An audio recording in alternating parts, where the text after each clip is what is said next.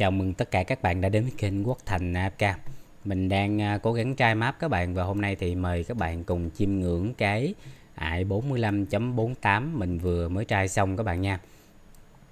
Trong cái ải 45.48 này thì à, cái team mà làm mình cực khổ nhất và khốn đốn nhất tính là team cuối cùng. Chúng ta dùng combo Raku, Jonras, Kaza Leonardo da Vinci với lại con Exit thất tỉnh đã qua được ải này các bạn. À, lý do tại sao về ải này chúng ta cực là tại vì ải này để cho nó qua nhanh á chúng ta không có bấm auto được. Con Raku nó mà auto nó xài chiêu nộ lên thì nó ngu lắm các bạn. Combo của con này thì có chiêu nộ đó là điểm yếu của nó. Do đó thì chúng ta cần tắt nộ của con này để cho nó đánh tay. Do đó thì trai team này là cực nhất. Tí nữa mình sẽ nói sau nha. Rồi thì mình sẽ giới thiệu qua từng team. Ok, ải đầu tiên thì chúng ta sẽ dùng à, team Thoran với những người bạn rất là quen thuộc các bạn ờ, tập làm quen dần nha. Chúng ta có Keltus, có Ren, có Exit và có Lika cái này thì điều kiện thắng bắt buộc là cái con Ren này. Nó phải bút đam cho con Thoran. Để cho cái con Ren nó bút được ờ, đam cho con Thoran thì cái lượng, cái chỉ số của con Thoran phải là cao nhất tim các bạn. Nhưng ở đây thì hơi fail một xíu nè. Lika của mình tới 174m ở đây thì cái con Ren nó đã bút cho con Lika rồi các bạn. Do đó thì mình trai hơi cực. Thật sự thì ờ, mình phải chỉnh tim có thể là bỏ bớt nội thất hoặc là lấy lột đồ của Lika ra để cho cái đam của cái con à, Thora này nó phải là cao nhất cái lực chiến cao nhất để con Ren nó boost đam lên nha. Rồi mỗi khi mà các bạn thấy Ren dùng chung với Thoran thì yêu cầu là lực chiến của con Thoran lúc nào cũng phải là cao nhất để cho Ren nó boost các bạn. Giờ chúng các bạn cùng xem qua nè. Rồi bắt đầu trận đấu thì Thoran của chúng ta chết như mọi lần. Exit nó hút mục tiêu về gom lại một chỗ sau đó là con à, uh, Thoran sống dậy và gồng. Thì con gà đứng cách khá xa các bạn. Nó lại chết sống dậy và đi lại và nó quạt thêm cái nữa. Bên cạnh kia con Thali bị quạt chết rồi. Đó. Hai bước của con Thoran ha. Bước 1 quạt chết ba mục tiêu. Bước 2 tiến lại gần, quạt mục tiêu cuối cùng. Còn con keo thết, thì nó sẽ là clear cái con mục tiêu đứng xa nhất. Các bạn đấy nha, cái tim của con Thoran thì vị trí của con keo thết này luôn luôn có, tại vì cái nội tại của nó nó chết nó sẽ không có chết mà nó biến thành dạng linh hồn dạng linh hồn này thì đam của nó thì không đáng kể các bạn. Tuy nhiên các bạn cần lưu ý cái nội tại của con Thoran nó có một cái kỹ năng đó là nó ném bùa vô mặt đối phương làm cho đối phương bị giảm vì không máu mà không thể chết. Về không máu thì cái con à, Thoran của mình chỉ cần chạm nhẹ là đi rồi các bạn đúng không? Về không máu rồi mà. À, về không máu thì chỉ cần con keo thết chạy lại nó đụng nhẹ là chết rồi. Do đó thì các bạn thấy cái con keo thết nhìn nó rất là phế nhìn nó rất là phế ha nhào nhào ra quào quào mấy cái không gây được bao nhiêu đam đã chết biến thành dạng linh hồn. Nhưng mà tác dụng của nó là ăn sâu đó nè. Nhưng mà cái nghệ thuật sắp đặt tim á, là các bạn hãy xếp sao cho lúc mà con keo thết nó chết đi sống lại nó nổ các bạn. Nó phải làm một cái vòng tiến tới cái con mà bị con thoran nó nó giống như bị con thoran yểm bùa. Đây là nghệ thuật xếp đặt tim à, cái con keo thết các bạn phải chú ý. Ok chúng ta đến với team thứ hai team scarlet rezu. Có con solai Solar support các bạn hiện tại Solai hay support cho team này lắm, leo map vào gần này mình thấy rất là nhiều. Rồi, cổ vật với lại thông tin tướng như sau. Solai mình mới bật đỏ cộng thôi các bạn và mang full đồ T4 xích 30 chưa có nội thất cũng chưa có ấn luôn nha. Những con kia thì à, có nội thất rồi. Chỉ có con Anna thì mình không có nâng ấn lên cho em ấy thôi các bạn. Lượng đam đến từ Scarlet lại Rezu chúng ta bắt đầu trận chiến để các bạn có thể chiêm ngưỡng nè. Đầu trận chiến thì Anna sẽ bút miễn nhiễm cho Reizu, Miska từ sau tiến tới sẽ lao vào dậm nhảy và à, tạo khiên gây chón. Con Solai thì à, hồi máu, con Scarlet thì tạo cái vòng tròn cùng với đó là thả bơm gây chón. Đó, đây mình hiện tại đang bị dính chón rồi các bạn. Animation nó bị lắc nữa các bạn không thấy chón các bạn có thấy hiệu ứng bong bong nó nổi từ dưới dưới lên. Đang bị dính chón và Solai đang nộ vừa hồi máu vừa gây thêm đam. Chủ yếu là đến từ khả năng hồi máu các bạn nó bảo kê cho con Anna, bảo kê cho con Reizu và bảo kê cho Miska ngồi ra thì bảo kê cho mấy con đệ của Rezu nữa các bạn. À nè, bút cái à, mẹ thiên nhiên, mẹ băng giá của mình làm giảm tốc của bên địch xuống các bạn.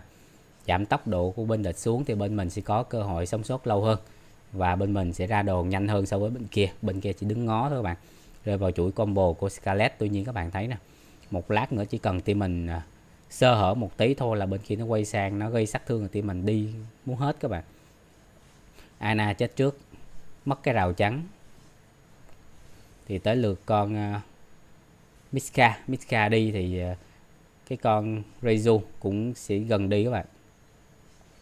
Đi không? Một mình em sư rất là trâu. Rồi à đây mình các bạn hoại sư.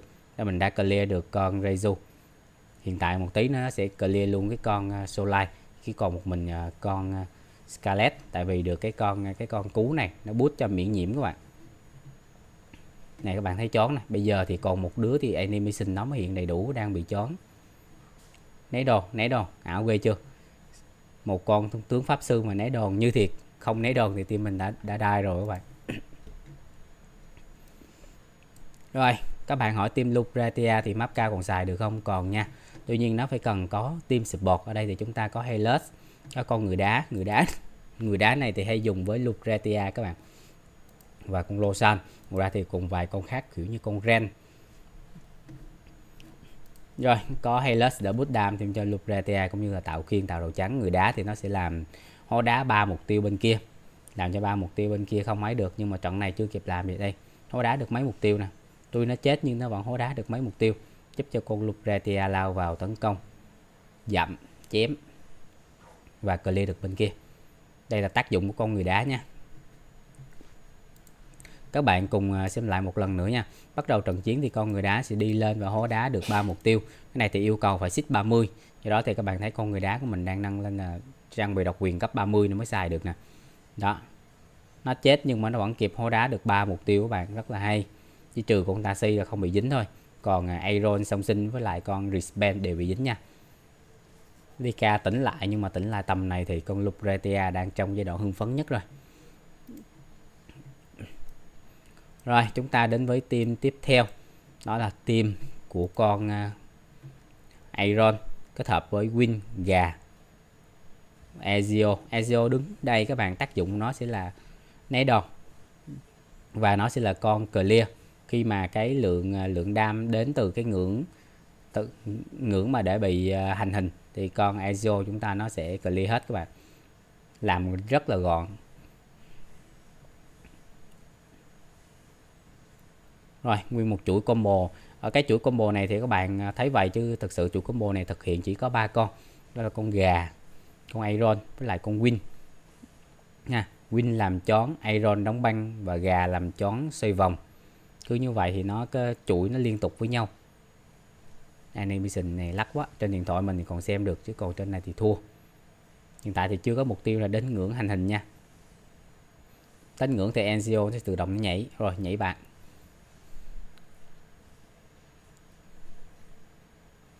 Rồi, Iron làm một phát nữa, đóng băng cả bọn luôn.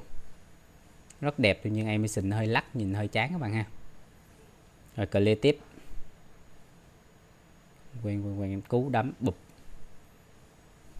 ở trên à, máy tính do tại quay bằng à, OBS Studio, nó hơi bị bị lắc xíu các bạn cho nếu quay trên điện thoại thì nó smooth hơn rồi, mục tiêu cuối cùng, clear luôn mạng Ezio, cắt. Win, nhảy đấm rất là sung. Và đối với các bạn, lượng nam cái team vừa rồi chủ yếu đến từ ai? Cái lượng nam của tiêu vừa rồi chủ yếu đến từ Aeron nha. Rồi đây và là cái trang bị và cổ vật để chúng ta qua ải vừa rồi các bạn.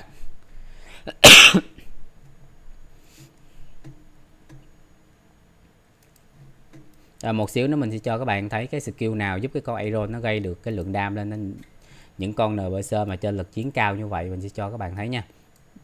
17,56 tỷ đam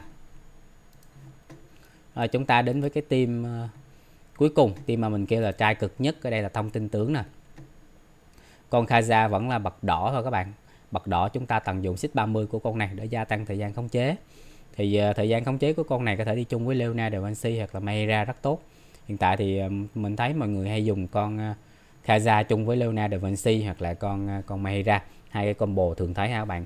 Và để tối ưu cái thời gian khống chế của con Kaza thì người ta hay dùng con Jonas tại vì con Jonas nó sẽ khiến trận đấu của team mình bắt đầu sớm hơn tên kia một xíu. Ok các bạn cùng cái xem cái team này nè cực khổ như thế nào các bạn rồi, bắt đầu trận đấu thì mình phải để tốc độ ít. 2 và mình bật auto. Mình bật auto nha. Đến khi cái con Leona de Vinci nó nộ và con Exit thức tỉnh nó nộ này, mình mình mình bấm muộn nè. Đúng ra là mình sẽ tắt cái cu, cái chiêu nổ của con Raccoon này luôn. Nhưng mà, kiểu, mình bấm trễ các bạn. Sau đó thì mình mới bắt đầu tắt nè. Kaza đủ ngượng nộ mình bấm tay. Con Le, Leona Da Vinci mình cũng bấm tay nộ luôn nè tiếp tục, Leona đầy nộ mình cũng bấm tay. Junrat thì nó tự nộ.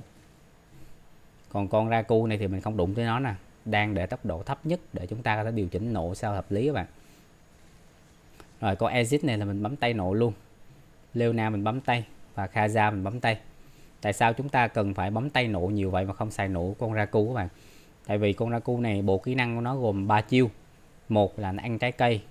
Hai là nó bắn tương tác với cái kỹ năng mà bị khống chế các bạn ba là nó bắn trói mục tiêu. Và nếu nó xài chiêu nổ thì nó sẽ xài cái combo nó bị hụt cả khúc lần các bạn. Cái thật sự thì cái chiêu trói của con Raku này, nó trói được, nó nó tương tác được rất là nhiều với với team ờ, Leonardo da Vinci.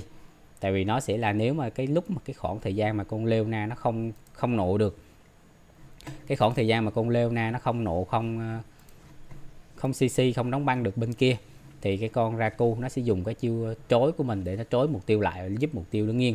Thì đường xíu bạn. Nhưng mà nếu mà nó xài chiêu nộ, nó xách súng ra, nó bắn, thì nó sẽ không dùng cái chiêu trối để trối mục tiêu là cái thứ nhất. Cái thứ hai, nó sẽ không dùng cái kỹ năng tương tác với kỹ năng khống chế của team mình, giúp gia tăng lên lượng đam lên tướng các bạn. Một tí nữa thì mình sẽ cho các bạn thấy cái kỹ năng, đây nè, mà các bạn thấy cái vòng dưới chân. Có cái vòng dưới chân là hiện tại con Raku đang xài kỹ năng khống chế đó các bạn nó không tương tác được với ờ, khả năng khống chế của đồng đội. Do đó thì nó sẽ không có gây được lượt đam đáng kể để mà kết liễu được mục tiêu. Tầm này nếu mà mình bấm cái chiêu nổ con Raku này có khi là thua luôn các bạn. Nhưng mà tầm này thì bấm nổ được nè. Bên kia có hai con còn chết rồi. Bấm nổ nó sẽ bắn hai phát là chết thay con này thôi. Nổ con Raku đam rất to. Ok, bây giờ chúng ta cùng đến với cái thắc mắc. Đầu tiên là về cái con Aeron tại sao con Aeron nó lại có lượng đam to như vậy thì nó thông qua cái kỹ năng này kỹ năng thứ tư của Aeron các bạn kỹ năng này lời nguyền của người rừng đây nội tại là tăng hiệu quả tấn công của Aeron lên 15% và cho phép các đợt tấn công của anh có 30 cơ hội bỏ qua hiệu quả phòng thủ của địch. Mỗi sát thương gây ra cho quân địch được sử dụng khả năng khiên đều được nhân lên gấp 150 lần. Ở đây tăng hiệu quả tấn công 20% và xác suất bỏ qua hiệu quả phòng thủ của địch là 50%. Đó. Nó bỏ qua phòng thủ, bỏ qua giáp do đó thì nó gây lên lượng làm rất to lên nbc Chỉ là các bạn cần cái chuỗi combo này nó nó liên tục là được. Bởi vậy chúng ta dùng gà với win và một vài con khác để khiến cái chuỗi combo này nó liên tục các bạn là lý do tại sao con Aeron là leo map cho lực chiến nhiều được các bạn nha hơn gấp 10 lần rồi giờ tới con Raku cái kỹ năng thứ tư này nè kỹ năng à, dấu ấn của Raku nó tương tác rất tốt với khả năng khống chế của team. Và nếu mà mà mà team bị khống chế thì con nó sẽ tung ra bốn đòn à, các đòn tấn công thông thường mình trong 4 giây tiếp theo. Nói chung là đam của cái skill rất ảo bằng bù bù bụp hồi là đối phương xuống máu rất là nhiều. Đam này làm giúp cho con Raku có khả năng là leo map cao nữa các bạn. Chỉ duy nhất cái skill này giúp cho con này có khả năng làm leo map cao. Ghê chưa? Trong khi con này mình mới lên ấn có 30 chưa lên ấn 60 đó các bạn. Với ấn 60 thì nó sẽ có thêm hai giây tấn công ờ, khi mục tiêu bị ờ, trói nữa. Rồi đây, bắn trối chân. Raku sẽ gây sát thương cho cái địch. Cầm tù cầm tù chúng trong vòng 4 giây. Đó. Nếu mà nó xài chiêu nộ, nếu mà cái con này xài chiêu nộ thì cái vòng quay của skill này nó sẽ bị hạn chế. Cái skill này nó không được xài tối ưu ờ, chung skill này nó cũng không được xài tối ưu. Do đó thì lượng đam sẽ bị hạn chế và khả năng khống chế bị giảm xuống nên khi chai map người ta hay tắt cái chiêu nổ của con này đi. Mặc dù đam rất to người ta cũng tắt các bạn. Đam cái chiêu này nó không bằng cái chiêu này. Không bằng cái chiêu tương tác với khả năng khống chế của đồng minh cùng với khả năng khống chế của con Raku nữa bạn. Ok, trên đây thì mình đã vừa review cho các bạn team qua ải 48.45.48 và lý do tại sao của Aeron có thể leo map được map cao. Và tại sao khi trai map thì người ta hay tắt cái kỹ năng ờ, nộ con Raku nha các bạn. Rồi, cảm ơn tất cả các bạn đã theo dõi video. Xin hẹn gặp lại các bạn tại các video lần sau nha. Xin chào, tạm biệt tất cả các bạn. Bye bye.